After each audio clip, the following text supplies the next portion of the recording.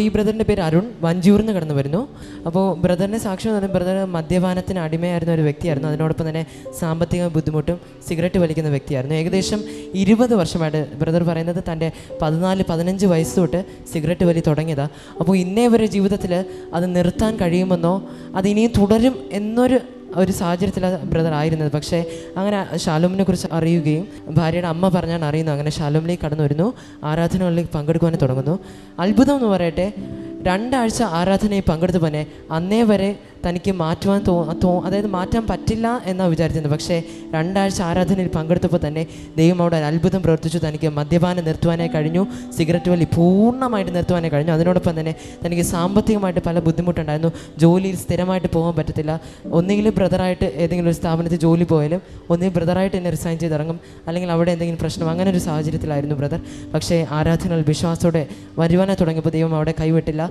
തനിക്കൊരു ഓട്ടോ ഓടിക്കുന്ന ഒരു സാഹചര്യമാണ്. പക്ഷേ തനിക്കൊരു നല്ലൊരു വിദ്യാഭ്യാസം ഉണ്ടായിരുന്നു. ഹോട്ടൽ മാനേജ്മെന്റ് പൂർത്തീകരിച്ചു. പക്ഷേ താൻ ഇത്രയും പഠിച്ചിട്ടും തനിക്ക് അതിന്റെ സംബന്ധമായൊരു ജോലി ലഭിച്ചില്ലല്ലോ. ദൈവം എനിക്ക് അങ്ങനെ ഒരു ജോലി ലഭിച്ചെങ്കിൽ ആരാധനയിൽ നിന്ന് പ്രാർത്ഥിക്കാനിടയായി അങ്ങനെ പ്രാർത്ഥിച്ചു. അന്ന് രാത്രി പോകുമ്പോഴേക്കും തന്റെ വീടിന്റെ അടുത്തായിട്ട് ഒരു സ്ഥാപനമുണ്ട്. അവിടെ അവിടെ ജോലി ചെയ്യുന്നതായിട്ട് താൻ രാത്രി സ്വപ്നം കാണുന്നുണ്ട്. അതായത് പ്രാർത്ഥിച്ച് ഇവിടുന്ന് പോകുന്നു. അന്നേ രാത്രി ദൈവം അവൻ സ്വപ്നത്തിലൂടെ തന്റെ വീടിനടുത്തുള്ള ഒരു സ്ഥാപനത്തിൽ ജോലി ചെയ്യുന്നതായിട്ട് കാണിക്കുന്നിടയായി അതിനടുത്ത ദിവസം താൻ ഓട്ടോ ഓടിക്കാനായിട്ട് അതിന്റെ മുന്നിലോട്ട് പോയപ്പോൾ ദൈവം എനിക്ക് ഇവിടെ ഇന്നലെ കണ്ട സ്വപ്നം എന്ന് പറയും ഇവിടെ എനിക്ക് ജോലി കിട്ടുന്നതല്ലേ? എനിക്ക് കിട്ടിയെങ്കിൽ ഞാൻ പ്രാർത്ഥനയോടെ പോയി. അത്ഭുതം എന്ന് പറയട്ടെ അപ്പോൾ തന്നെ കുറച്ച് നേരം കഴിഞ്ഞപ്പോൾ അവിടുന്ന് കോൾ വരാനിടയായി. ജോലിക്ക് കയറുവാനിടയായി. ഇപ്പോൾ അവിടെ സ്ഥിരമായിട്ട് ജോലി ചെയ്യുന്നു. ഇപ്പോൾ സന്തോഷത്തിലാണ്. സമാധാനമുണ്ട്. ക്രിസ്തുവ, ഭയങ്കരം ഭയങ്കരം ഭയങ്കരം. ഭയങ്കര സ്റ്റോറി ഒരു ഷോർട്ട് ഫിലിമിനുള്ളത് തന്നെ ഉണ്ട്. ഒന്ന് മാനസാന്തരം കിട്ടി അല്ലേ? എന്തോ വിഷയത്തിൽ ആദ്യം വരുന്നേ?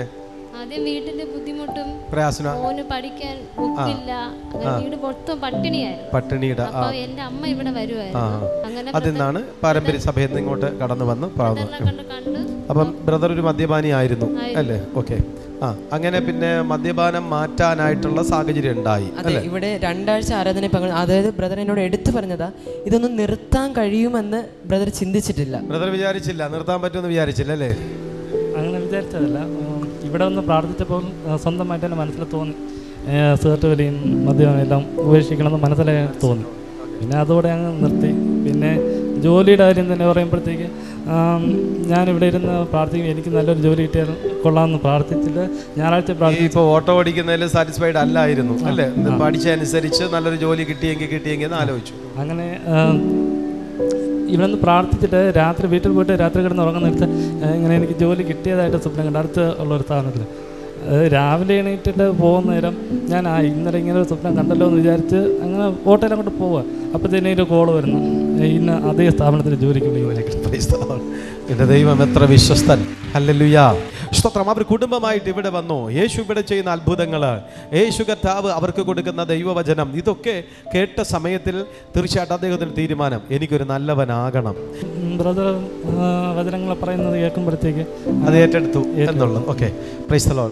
ആമീൻ അതിന്റെ ഒരു സന്തോഷം എനിക്കും ഉണ്ട്. അപ്പോൾ നമ്മൾ പ്രസംഗിക്കുന്ന വെറുതെയല്ല. സ്തോത്രം. ആരൊക്കെയോ ഇപ്പോഴും ഏറ്റെടുക്കാൻ തയ്യാറാകുന്നു.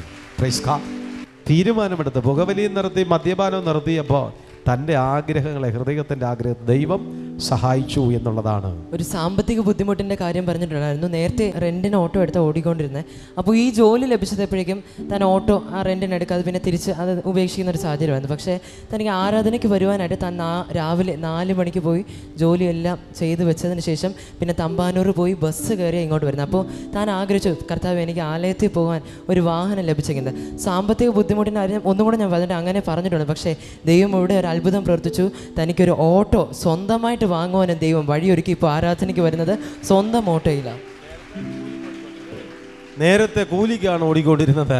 ഇപ്പോൾ ജോലിയും കിട്ടി ഓട്ടോയും കിട്ടി. ഒരു വടിക്ക് രണ്ട് പക്ഷി പ്രൈസ് തലോൺ അതാണ് യേശുവിന്റെ അടുക്കലേക്ക് ഒരു വ്യക്തി കടന്നു വന്ന് തീരുമാനമെടുക്കുമ്പോൾ ആ തീരുമാനങ്ങളെ മാനിക്കുന്ന ദൈവം. സ്വർഗത്തിലെ കർത്താവ് ഈ കുടുംബത്തെ അനുഗ്രഹിച്ചു. ആ ദൈവം നിങ്ങളെയും ആശീർവദിക്കട്ടെ.